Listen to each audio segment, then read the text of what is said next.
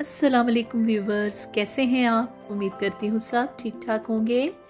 आज एक बहुत ही प्रोडक्टिव एंड बिज़ी वीक के साथ ये मेरी वीडियो है। ये एक दिन की नहीं, बल्कि कुछ दिनों की एक्टिविटीज़ हैं, जो ईद से पहले का वीक है, क्योंकि इसमें मुझे बहुत सारे काम निपटाने थे। ये वीडियो आप मेरी फ्राइडे को देखेंगे, और संडे को हमारे ईद है जर्मन में। क्योंकि यहाँ हम टर्किश लोगों के साथ ईद करते हैं। टर्किश लोग अपना पहले ही कैलेंडर तैयार कर लेते हैं और उसके मुताबिक ईद करते हैं। और हमें मजबूरन करना पड़ता है इधर, क्योंकि इनकी बहुत ज़्यादा कम्युनिटी है और हम नमाज़ भी इन लोगों के साथ ही पढ़ते हैं। हमारी अपनी पाकिस्तानी को अलग से ज़्यादा नहीं है यहाँ पे मॉस्क तो इसलिए हमें टर्किश या फिर अरबी लोगों के साथ नमाज़ पढ़नी पड़ती है। अब मुझे नहीं मालूम कि सऊदी अरेबिया में भी संडे को है कि मंडे को। वो मैं कंफर्म करूँगी। एनीवे anyway, हमें यहाँ पर देश में एक दिन ईद का सेलिब्रेट करना होता है और फिर इसलिए हम जहाँ पे कम्युनिटी ईद करती है तो फिर उनके साथ ही कर लेते हैं। तो इसलिए मुझे इस वीक में बहुत सारे काम करने थे। ये दो चार दिन है मेरे पास जिसमें मुझे अपने रूटीन के कामों के साथ साथ बाहर के काम भी करने हैं। कोई ग्रोसरी वगैरह करनी है जो ईद के लिए ज़रूरी है। और एक दिन ये मौसम बहुत ही खूबसूरत था। नाश्ते के बाद ब्रेकफास्ट के बाद मैं अपने बेटे को साथ लेके तो सिटी की तरफ़ चली गई क्योंकि मुझे कुछ इंडियन पाकिस्तानी दुकान से अपनी मसाले और दूसरी चीज़ें वगैरह चाहिए थी, जो कि ईद पे भी यूज़ होनी है। हस्बैंड मेरे काम पे चले गए थे तो फिर मैं बेटे को साथ लेके चली गई। माशाल्लाह से मेरा बेटा मेरे साथ चला जाता है क्योंकि आजकल वो छुट्टियों पे है, घर में होता है फ्री तो इसलिए वो मेरे साथ होता है। तो ये पाकिस्तानी हमारी शॉप है, जहाँ से हमारी मसाले वगैरह, दालें वगैरह और मुझे सवैयाँ भी चाहिए थी और यहीं से लेने गए हम लोग। यहाँ आगे सिटी में उस दिन मौसम खूबसूरत था। धूप निकली हुई थी और बहुत ज़्यादा रश भी था। लोग ऐसे मौसम में ज़रूर तफरी के लिए जाते हैं। और मेरे बेटे को भी शौक़ होता है कि, मामा सिटी जाएँगी तो फिर मैं उधर रेस्टोरेंट में ज़रूर जाऊँगा। जब घूम के इंसान थक जाता है तो फिर ज़ाहिर है खाना पीना ज़रूर होता है। तो खाने के बाद एकदम से फ्रेश होके फिर मुझे एक और स्टोर में जाना था।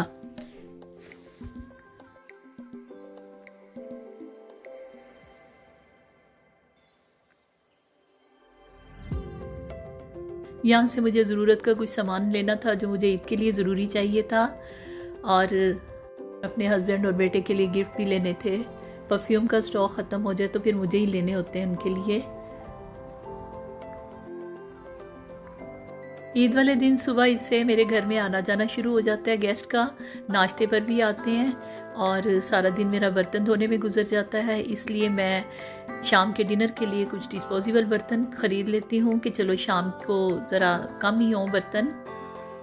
ख़ासकर प्लेट्स और ग्लास वगैरह जो कि बहुत ज़्यादा यूज़ होते हैं रात के तक तो बाकी और दूसरे बर्तन होते हैं, वो मैं घर के ही यूज़ करती हूँ, लेकिन ये चीज़ें थोड़ी मैं डिस्पोजेबल ले लेती हूँ। एक ही दिन में आप सारी ग्रोसरी नहीं कर सकते ईद के लिए। इसलिए मैंने ये दिन सेलेक्ट कर लिया है दूसरी, ये चीज़ें ख़रीदने के लिए। और फिर नेक्स्ट एक, दो चार दिन है मेरे पास तो इसलिए मैं अगले दिनों में ग्रोसरी वगैरह कर लूँगी। ये ईद कुर्बानी की ईद होती है हर कोई अपने जानवर वगैरह ख़रीदने में लगा होता है। हम प्रदेश में ज़्यादातर मोस्टली लोग पीछे कुर्बानी करवाते हैं अपने पाकिस्तान में, क्योंकि हमारे, मेरे हस्बैंड का भी यही ख्याल है कि वहाँ पे ज़्यादा मुस्तक लोग हैं, इसलिए वहीं पे कुर्बानी होनी चाहिए। और इसलिए और यहाँ पे अगर कुछ लोगों ने कुर्बानी करवानी भी हो तो वो पहले से बुक करवा दी जाती है। यहाँ पे वो रवाज नहीं जो पाकिस्तान में लाए जाते हैं जानवर घरों में रखा जाता है वो ऐसा कोई कॉन्सेप्ट नहीं है।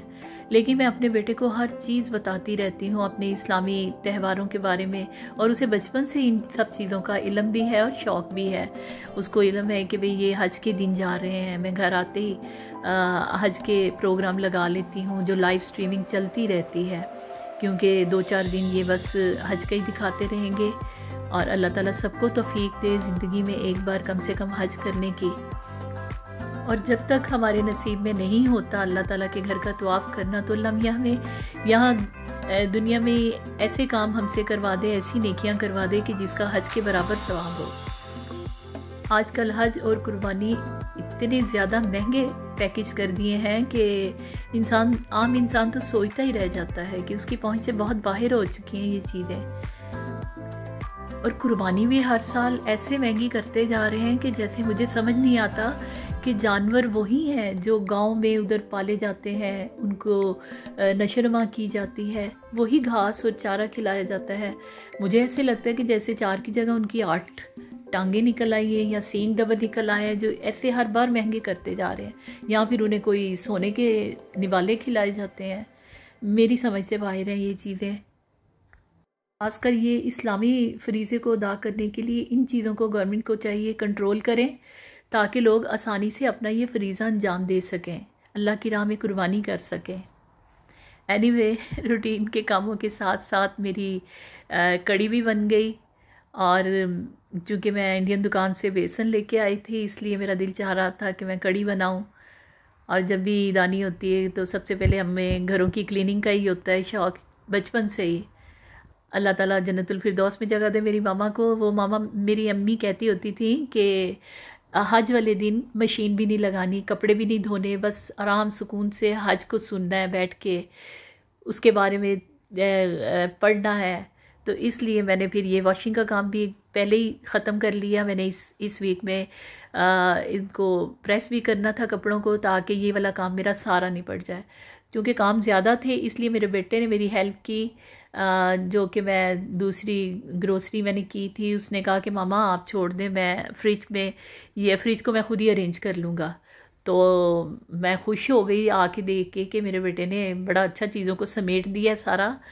और बल्कि मैं तो उसी दिन मैंने वॉश मशीन भी लगाई हुई थी और कड़ी भी बनाई थी तो मेरे बेटे ने कहा कि, मामा, मैं खुद ही करूँगा ये सा, ये वाला काम। हम तो बहुत ज़्यादा न होते हैं वीक में, लेकिन मैं चंद ही दिखा सकी हूँ। आप में, आपको इतने में शाम हो गई और शाम का ये ब्यूटीफुल सनसेट का जो मंज़र है, मुझे बहुत अच्छा लगता है। और फिर मैंने शाम को फिर कोई हल्का फुल्का चीज़ रखी। मैंने कहा, शाम को ज़्यादा हैवी नहीं खाना, क्योंकि कड़ी बना ली थी। जिसे खाना है, वो शाम को खाए जिसे नहीं खानी तो उसके लिए फिर मैंने फ्राइज़ वगैरह या कबाब वगैरह ऐसी चीज़ें बना दी। तो ये था मेरा आज का व्लॉग मिलेंगे इंशाल्लाह अब ईद के व्लॉग के साथ। दुआओं में याद रखिएगा।